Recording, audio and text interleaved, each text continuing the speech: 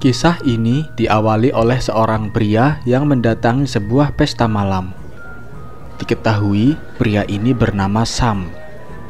Sam datang ke pesta tujuannya tidak lain cuma mau mengambil kaset rekaman yang dipinjam tuan rumah pesta ini. Karena kaset rekaman Sam disimpan di ujung kantor apartemen si tuan rumah, maka Sam disuruh ke sana untuk menunggunya. Sam pun menunggu di sana sambil mencari kasetnya. Karena lama menunggu dan Sam pun kecapean, akhirnya dia ketiduran. Dan inilah kisah film The Night Eats the World.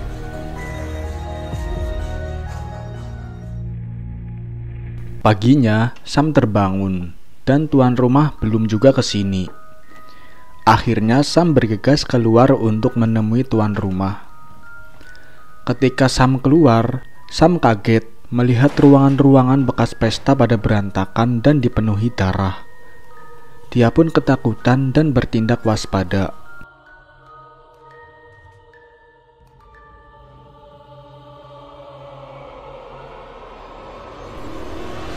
Orang-orang pun tiba-tiba menjadi brutal dan haus darah. Mereka mengejar ingin memakan Sam, Sam kebingungan mengapa mereka semua jadi kanibal begini. Niat pengen kabur tapi zombie di bawah sangat banyak. Akhirnya dia berencana untuk bersembunyi di lantai 6 apartemen ini saja. Saat Sam lagi bersih-bersih lantai, tiba-tiba lantai jebol. Ternyata ada yang bunuh diri menggunakan shotgun dari bawah lantainya. Sam pun bergegas ke situ untuk mengambil shotgunnya sebagai alat berjaga-jaga dari zombie. Setelah punya senjata, Sam pun memberanikan diri keluar ke ruangan lain untuk mencari persediaan makanan dan barang-barang yang dibutuhkan.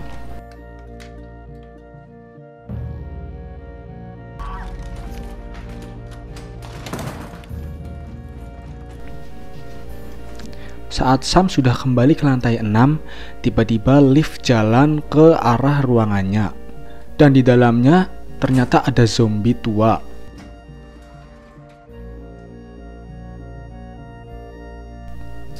Sam pun terkejut dan langsung mengunci pintu lift itu. Mau menembak, Sam gak tega. Akhirnya, Sam pun bersantai di lantai 6 setelah tadi mengumpulkan persediaan Sam mengatur persediaan bahan agar bisa digunakan sehemat mungkin untuk bertahan hidup beberapa hari ke depan.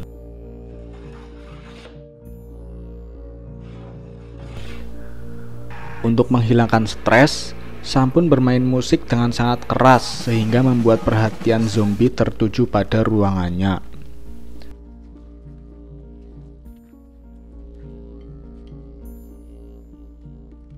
15 hari berlalu, Sam mulai sangat bosan, sehingga dia mencari hiburan baru yaitu menembaki kepala zombie dengan pistol mainannya dari atas ruangannya.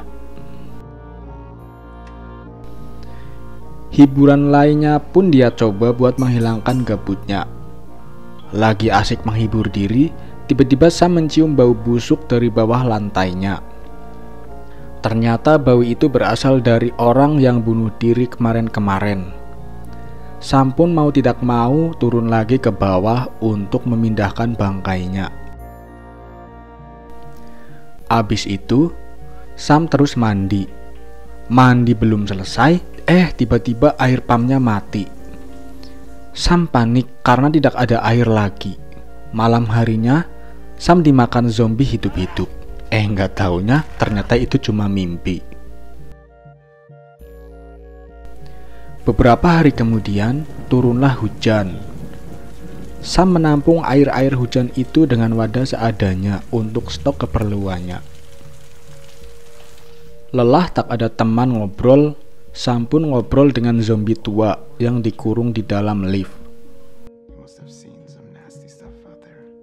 Zombie itu bernama Alfred Esoknya, Sam mulai menembaki zombie dengan pistol mainan lagi. Tapi ketika membidik, dia melihat seekor kucing yang normal dan tidak terinfeksi virus zombie. Sam ingin mengambilnya untuk dijadikan teman. dia pun bergegas keluar ke bawah. Ketika dia mencari kucingnya, tiba-tiba zombie datang mengejarnya.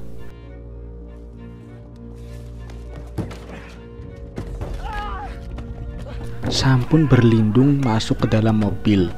Kebetulan karena panik, senapannya pun tertinggal di pintu keluar apartemen. Tapi untungnya Sam berhasil kabur dan kembali ke dalam apartemennya lagi.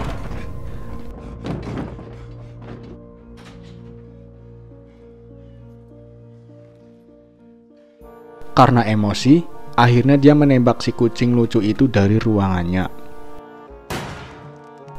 Melihat jejak darah di lantai dan tangan Sam yang terluka, ia ketakutan karena dia sudah berprasangka jangan-jangan luka ini akibat gigitan zombie di luar tadi. Sam langsung mencari obat-obatan antibiotik di kotak P3K.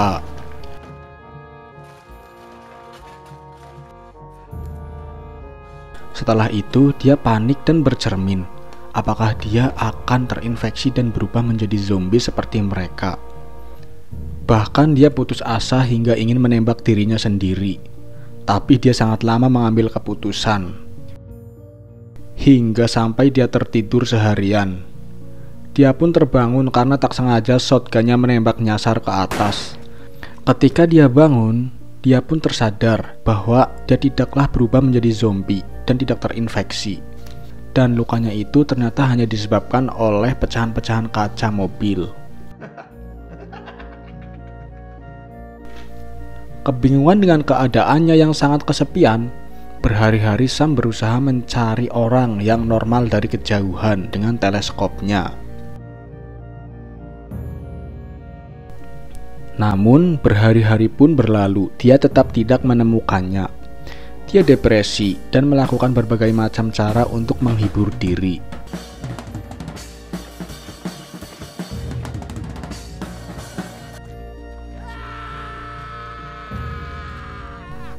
Saat Sam tidur, tiba-tiba dia mendengar suara berisik jejak kaki.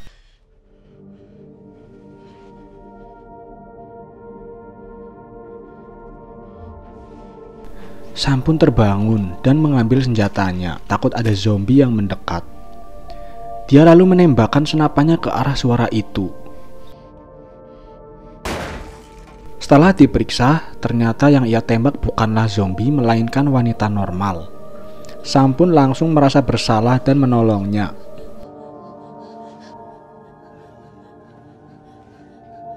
Esok harinya, wanita itu pun sadar dan siuman. Mereka sarapan sup merpati bersama sambil ngobrol dan berkenalan. Ternyata nama gadis ini adalah Sarah. Dia adalah gadis yang berpengalaman dan dia memberitahu pada Sam untuk selalu berpindah-pindah ruang tiap satu minggu.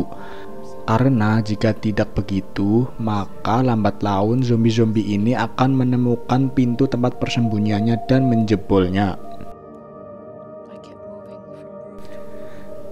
Hari demi hari mereka berdua tinggal bersama-sama. Lalu kemudian muncullah ide dari Sarah bahwa mereka berdua harus pergi dari kota ini. Tapi semua kebersamaan dengan Sarah tadi itu cuma hayalan si Sam. Padahal aslinya Sarah masih terbaring kaku karena kena tembakannya. Meskipun cuma hayalan, tapi Sam tetap akan mengikuti ide Sarah untuk keluar dari kota zombie ini. Dan untuk membulatkan tekadnya, Sam pun membakar barang-barang yang ada di rumahnya sampai ruangannya menjadi penuh asap.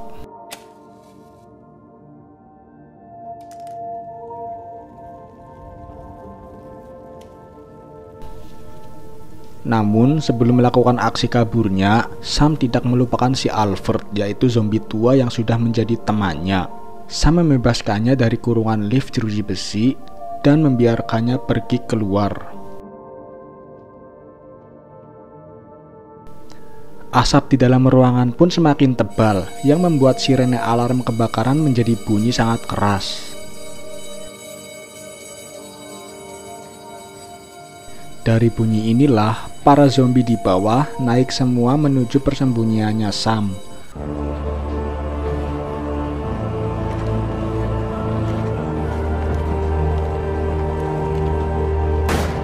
Karena saking banyaknya zombie yang datang, Sam sampai kewalahan.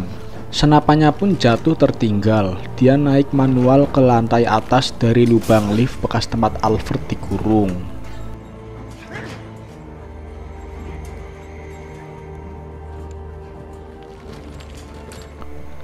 Setelah sampai ke ruang atas, ternyata di sana sudah dipenuhi dengan asap tebal akibat kebakaran yang dibuat oleh Sam. Di sana pun sudah ada sangat banyak zombie. Sam memanfaatkan ketebalan asap ini untuk mengendap-endap melewati para zombie.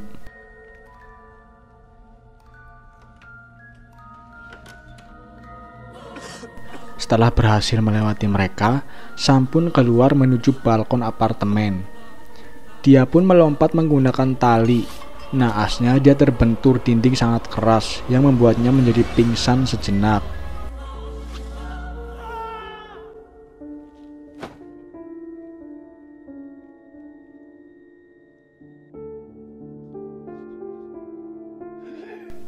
Setelah sadar dan terbangun, Sam pun langsung memanjat ke atap gedung sebelah. Dan setelah berhasil naik ke atas, Sam melihat jalan keluar kota ini. Dia sangat lega dan bahagia. Dan film pun selesai.